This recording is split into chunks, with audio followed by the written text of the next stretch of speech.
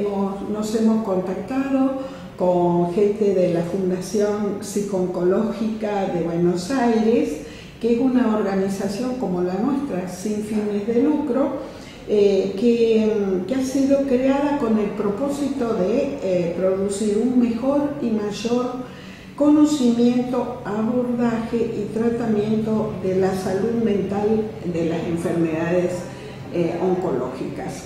Esta gente que es un grupo de profesionales, psicólogos, psiquiatras, médicos, ha asumido este compromiso y, ha eh, aceptado eh, un trabajo de investigación del Ministerio de Salud de la Nación eh, en cuanto a um, conocimiento de la opinión de la mujer este, de la zona rural en cuanto a la conveniencia, a la realización o no eh, causas eh, por las que no tal vez eh, la mujer se realiza una mamografía periódicamente a partir de los 30 años. Este trabajo, ten cuenta, abarca mujeres de 30 a 70 años. ¿Cómo no llegó a nosotros? Mediante la licenciada psiconcóloga Esther Daniel, que es la presidenta de esta institución, y que tiene a su cargo el desarrollo de la terminalidad de psicooncólogo en la Universidad de Psicología de eh, la provincia de Entre Ríos, en Paraná. Esta mujer este, nos eh, contactó, eh, queríamos una de sus alumnas, una de nuestras jóvenes muy entusiastas de la zona, eh, de las cuales los chicos realmente debemos sentirnos orgullosos porque eh, asumen compromisos y desafíos realmente valederos, valederos para ellos, para su formación, para su futuro, pero también para eh, los pacientes oncológicos de nuestra comunidad. Agustina Real nos pone en conocimiento, en contacto con la licenciada y esta nos interesa acerca de la eh, encuesta.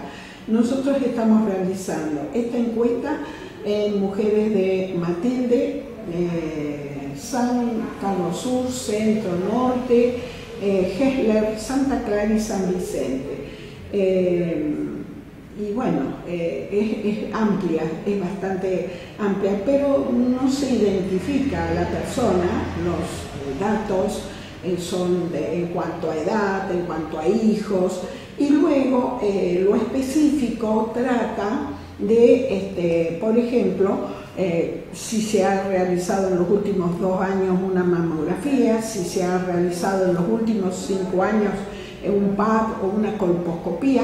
Aquí nosotros detectamos que mucha gente no tiene ni idea de lo que es una colposcopía y para qué sirve, ¿no es cierto?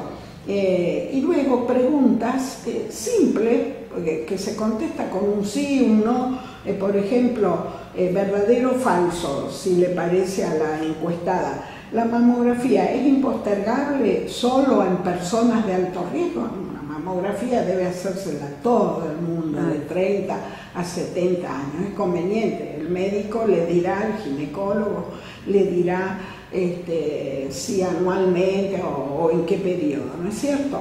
La mamografía duele, eh, si no hay molestias no es necesario realizarse ningún examen, este, no existe remedio para el cáncer, o sea, cuáles son las ideas los mitos, las creencias que eh, la mujer de zona rural eh, eh, tiene en este aspecto. Claro, son datos muy relevantes también para conocer después algunas estadísticas de por qué este, se dan este, los casos que, se dan después en, cáncer de mama, eh, qué es lo que eh, nos está faltando para que la gente se informe, para que la gente directamente tenga este hábito de una vez al año hacer un chequeo tan simple, ¿no? Como ese. porque se trata de su propia salud y con tan poca cosa y tan un tiempo tan breve, eh, lógico, por ahí los costos, ¿no es cierto? Entonces, con este tipo de investigación, eh, que tiene dos aspectos, el aspecto cuantitativo y cualitativo.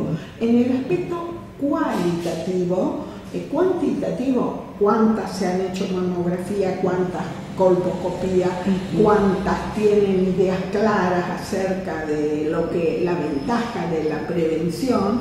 Y en el aspecto cualitativo, eh, cuando la mujer explicita eh, de que no quiero enterarme porque por ahí tengo algo malo o que la, mamografía duele, o, eh, o sea, cuáles son sus mitos, cuáles son sus creencias, que a veces vienen de abuelas a madres, madres a hijas y, de generación en generación se van transmitiendo equivocadamente.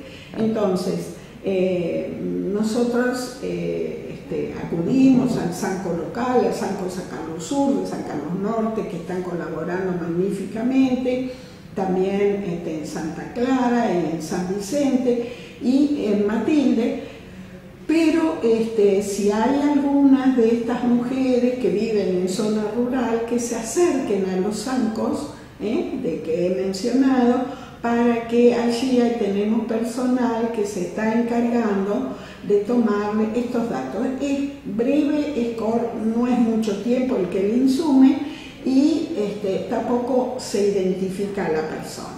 Bien. Eh, Carmen, y esto también este, va a servir este, porque ustedes, bueno, anualmente hacen la campaña también, ¿no? Para ya directamente que las personas se hagan el estudio. Imagino que en base a estos resultados también van a tener, este, bueno, algunos este, eh, números como para reclutar a esa gente que tal vez no se estaba haciendo el estudio y ahora con la campaña de ustedes próximamente se lo pueda realizar. Sí, la campaña que todos los años realizamos allá de julio, el mes de julio y de agosto, eh, este año, como todos los años, lo vamos a retomar.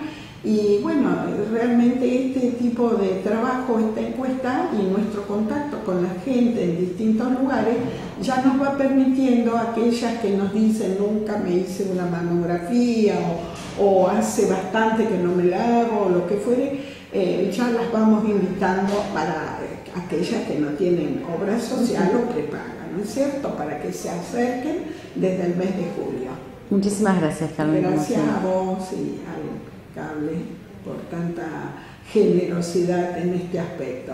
El beneficio es para la fundación, pero por sobre todo para nuestra gente de la comunidad.